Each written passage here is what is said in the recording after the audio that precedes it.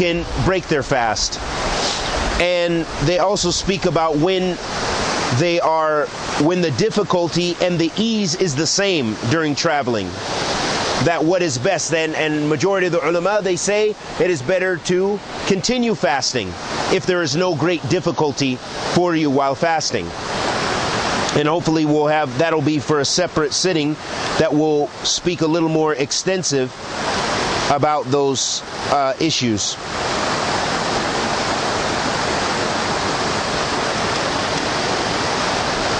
And the last condition for fasting is that, and this applies to a woman, is that she, it, it becomes an obligation if she is not during her menstrual cycle, not during her period, and also so that she is tahur, she's pure from menstrual bleeding, and also that if a woman uh, if she's had a child, that she's not bleeding from the post uh, natal uh, bleeding.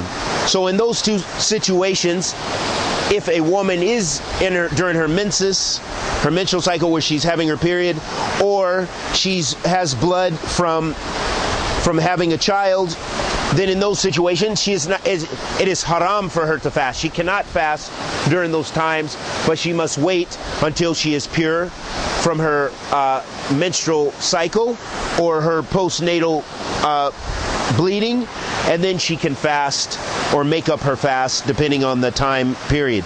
So those are just the conditions and the scholars of course, coming from the Quran and the Sunnah of the Prophet sallallahu alaihi wasallam, there's a lot of evidence, but I just kept it very simple for us, just so that we know the conditions first and foremost. And we ask Allah the Almighty to accept our good and forgive our evil. Anything I said that was correct was from Allah. Anything I said that was incorrect was from myself and the shaitan. Wa sallallahu wa sallam ala Muhammad wa ala alihi wa sahbihi wa sallam.